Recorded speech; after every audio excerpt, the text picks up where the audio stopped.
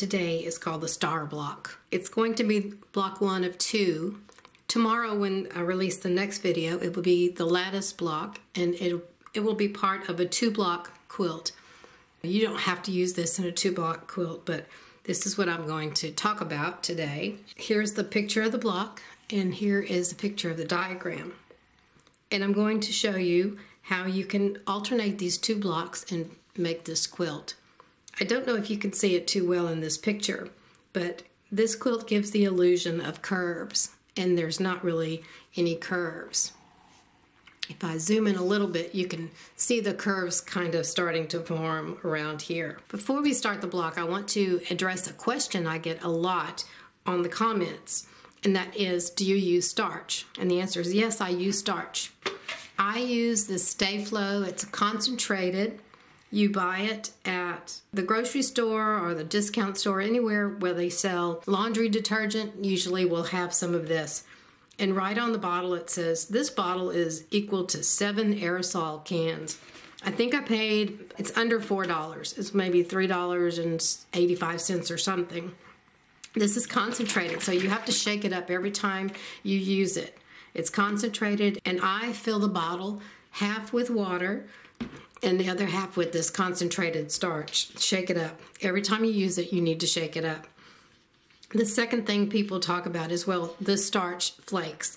Yes, it does flake and it will flake, but if you spray your fabric and then let it dry a little bit, because have you ever sprayed your fabric and then you put the iron on it and you hear that sizzle?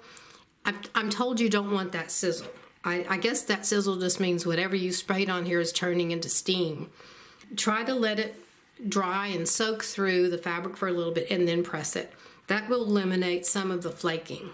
And if it does flake, it just, it just brushes off, so it's really not a problem. I starch before I cut the fabric, and I starch when the block is finished. And if there's some time in between that I need to starch, I'll, I'll use a little more starch, but mostly before I cut the fabric and when the block is finished. You'll especially want to starch if you're cutting and sewing triangles a, a half square triangle, you'll have two sides. The, this is the lengthwise or crosswise grains go this way. And this is a bias grain, which means it stretches. So if you starch this before you cut it, you'll get a nice a nicer cut and then it will be easier to stitch this because it won't want to stretch as much with the starch. It's a little bit stiffer, so it's easier to press. And quarter square triangles have two bias edges. So you're dealing with two. Another triangle that should be starched before cutting is this the triangle we're going to use today, the triangle and square, because the, this is on the bias here. Not only on the triangle, but also on this half rectangle. And so you have half rectangles, you have these. A lot of triangles have the bias grain on the, or at least one or two sides. Another thing, and this is my pet peeve, I'm getting on my soapbox now. A lot of times you'll see demonstrations where you have two pieces of fabric, you put them right sides together, and you sew around the edges. And what you're doing, you're sewing along the lengthwise or crosswise grain. And these are the most stable grains. They don't stretch very much. And then you take your ruler and you cut in half this way and you cut in half this way. And that means when you open them up, these cuts here are along the outer edges. So now you have outer edges that stretch. And here is the bias. It just stretches all out of shape. If you're going to do something like that, then you need to starch the heck out of this thing, make it as stiff as a board because when you try to sew these edges together, like you sew block to block together once you've done them, they're just going to stretch like crazy everywhere you go. Now I know this is an easy way to use pre-cuts. I just do not like this technique. Anyway, off my soapbox now. That's just my thing. I, I always starch, especially when I'm using any kind of triangles. Now let's look at this block. There are three different units in this block. We have the four patches in the corners, and we have the triangle and square on the four sides. Then we have a square and a square in the center. Something about this triangle and square, it allows you to create the illusion of the curves without stitching a curve. A lot of times when you see these quilts that have, they look like curves, but they're really not, they're made up of two different blocks. This is the star block we're doing today, and tomorrow we're going to do the lattice block. Most of the time when you have these circles, this triangle and square unit is part of the picture. It's going to be in one or both of the blocks you use to create this curved illusion. I have three other videos with similar quilts. What they all have in common is they are they consist of two different blocks and at least one of the blocks has this unit, this triangle and square unit. And I'm going to show you pictures coming up of the three quilts that I've made videos for, and they're free patterns for all of them, that have this illusion, this illusion of curves.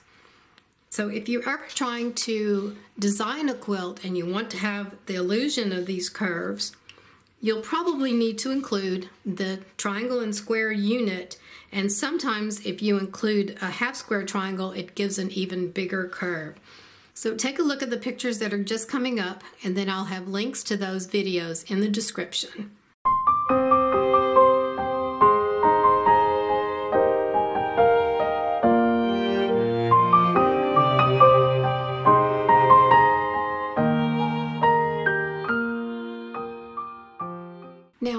We get to the block. I'll show you the patches. Here are the patches and patch A is a is cut two and a half inches by two and a half inches for a two inch finished square. But in this one I've also given you the strip piecing alternative and that's what we're going to do in the demo today. Here is the AccuQuilt, it's the 8 inch Qube shape 2, 2 inch finished square. Now for the Tri-Rec, I'm going to demonstrate using the Tri-Recs ruler. This is the only ruler that I've used. I know there are many other brands out there. They work equally well, so use the one you're comfortable with.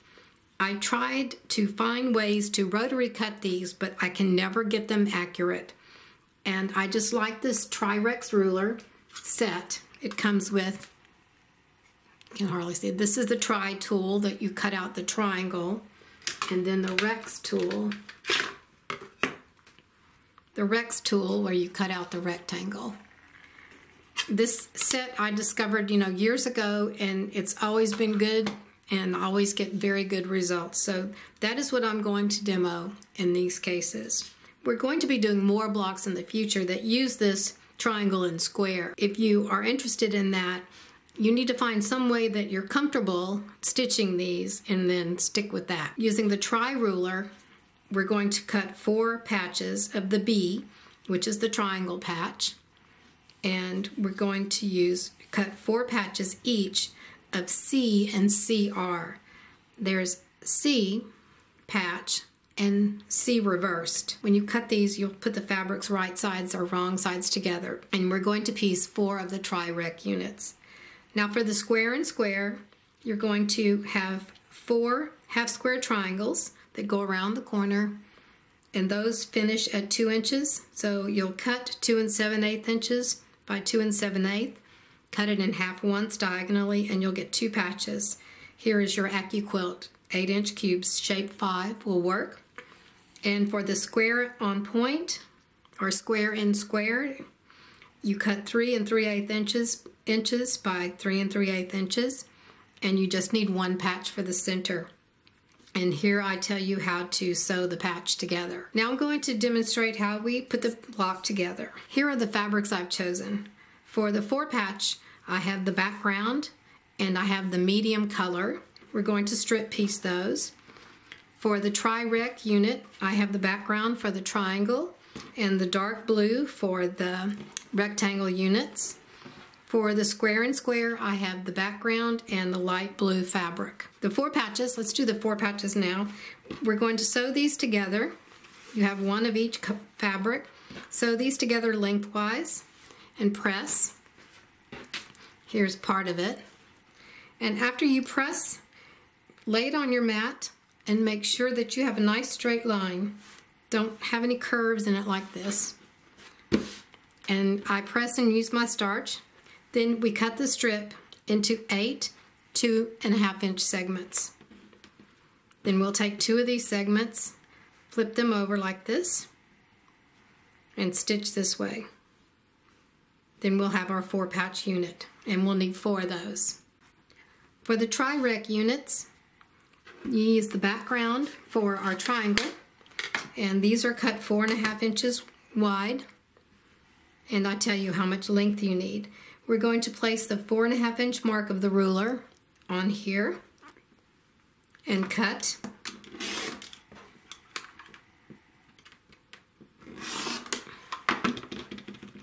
Then flip the ruler over and then make your other cut.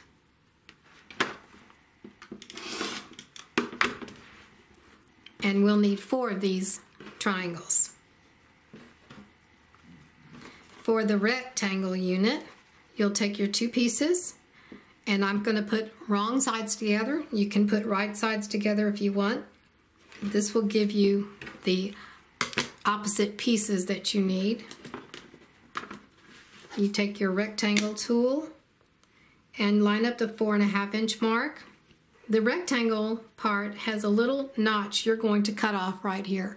And that's really important. I know you can't really see it that well, but we're going to cut this little notch off. I'm just going to do it now. It seems so tiny and insignificant, but it really helps you when you're placing your pieces. Now we cut this. Flip the ruler over and cut your second set. So you're cutting two at a time. Cut off your little tip. And what you have here, if I open this up, I have two pieces that are opposite sides. And actually they, this is the right side here. So this goes like this, and your triangle goes here in the middle. And you'll cut four sets of these. And what you're going to do with this, you're going to lay this on one side first, and if you can see, let's lay this, get this nice and even and I'm just scooching it over. This little thick piece you cut off has to line up with this edge and then the, this edge has to line up all the way down. Start your stitching here. You should be right about here when you start and do your quarter inch all the way down. When After you stitch one side, press your seams open and then stitch your other side the same way. Now for the square and square, we're going to take two of our triangles and if you're not using, if you're using the AccuQuilt, it'll have these little corners cut off. We're just going to center this triangle here, line up this top edge, and it should be roughly at this point where it makes a V, that that's your quarter of an inch. And you stitch a quarter of an inch all the way across. Then stitch this one the same way. So it will be like this. Stitch these two sides and press them and then come back and stitch the other two sides and press those. Now we'll do all the stitching and come back and put the block together. I want to show you a couple of things about the square and square and the tri-rec units as you're piecing them. Once you've pieced these opposite sides together, you'll have these little nubs sticking out. I usually cut those off before I stitch the other one, the other part. Sometimes you will have a little bit of a, see how this sticks up here a little bit? I, I don't worry about that. I just leave it like that and cut these off. Then when you put the other side on, you want to place this on here and center it. If you turn it over like this, it's easier to see the little points that come out as you're trying to place it in the center. Of course, you could find the center of both of these and match those. But these are what you're um, what you're concerned about. And if you'll see how this makes a little V here, a 90 degree angle right here, this is where you want your to start your stitching. So from here to here should be about a quarter of an inch. Then you stitch your quarter of an inch across and then here you meet this other 90 degree or this V angle right in the middle. And then when you press this, you'll have, it will come out straight across here and across here once you press it. And then once you press it open, you'll cut off these little nubs. For the Tri-Rec unit, this unit here was done with the AccuQuilt. And when you end up with it, you have almost this curved corner at the top. These little pieces are cut off. That's normal. Don't worry about that. Leave it. And then this bottom part is pretty straight. You're going to have something similar with the, the Tri-Rec unit. I'm going to flip this over. When you sew the first one on, and that's the one down here, and I've got the, the top one flipped over, you'll see that this little nub sticks out here. This little nub is from the first piece we sewed on and then it was pressed. So that little nub is sticking up. Leave that on there for now because you're going to take your next piece and match that little nub with the corner here. So just put them on exactly the same. And then here's your V again. This is different angle, but where the two pieces meet, that's where you want to start. This is your quarter of an inch here. And you sew down a quarter of an inch to get here, and you want to come off at this little angle here. It goes this way, then it angles up. Here's that little piece you cut off before. So you want to get right there where those two meet. Then when you press them open, then you cut your nub off. So here you have your point, and this is about a quarter of an inch, and we'll cut this off.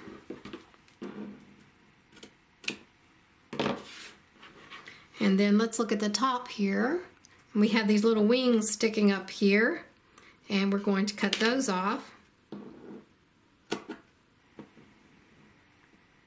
Okay, and you see you have your same little corners, like your curved corners here at the, the top. That's perfectly normal too. And then down here you have your straight. Once you stitch the this piece, this unit to another one, just line up your quarter of an inch here and then start wherever it is, a quarter of an inch from here to here. Just go straight down a quarter of an inch and don't worry about this curve edge at the top. We have our square in a square, we have our four triangle in squares, and we have our four half square triangles. Now we're going to put them together. This goes in the center.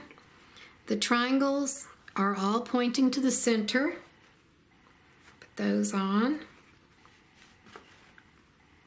Now the four patches you want those to be going out to the corner. The accent fabric goes out to the corner. That's how you get your design. Now we'll stitch our rows, then we'll stitch the rows together and the block is finished.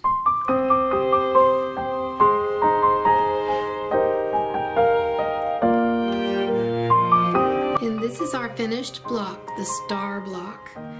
Tomorrow or the next video we'll have the lattice block. It will also have instructions for making this quilt at 60 by 84 finished.